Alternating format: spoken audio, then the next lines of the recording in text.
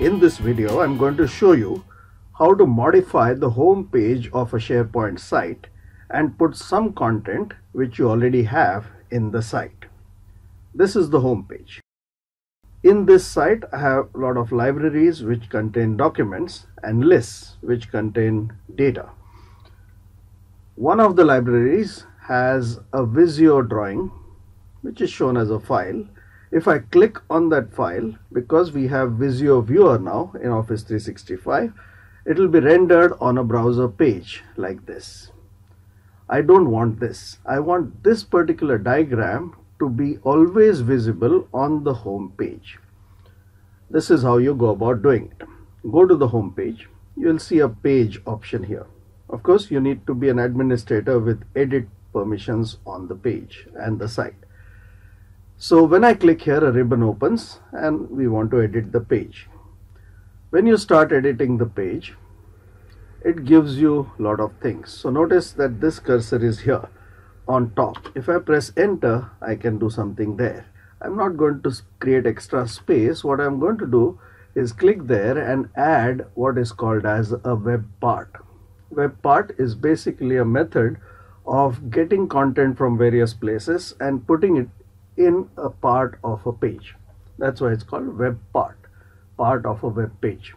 When I go there, there is a long list. Don't get worried.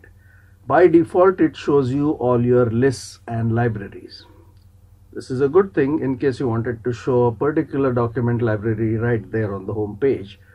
Right now, we are not interested in it. We are interested in business data. Under that, you get a lot of web parts. The two most important ones are Excel Web Access and Visio Web Access. We are going to go to Visio and click on Add. Now it just adds a placeholder which will allow you to put a Visio drawing.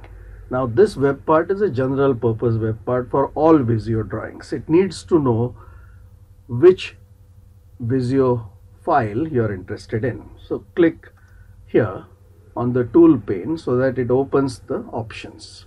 There are lots of options. I'm not going to go through all of them, but the most important one is where is the file. So when you click on it, it will open all the content of the site and you will have to choose the one you want. This is a long list, so just make sure you go to the place which is in, important to you. In this case, I have a document library called finance. So I click on finance then it is going to show me all the files within finance and then we will get to our Visio drawing. So you just select it. Now this is the path. Of course, if you knew the path, you could have typed it also, but remember this is a relative path. This is the whole path. This is the relative path. Now I click insert. So notice what happens. The path comes here and the drawing will soon be rendered there are many other options which I am currently keeping as default.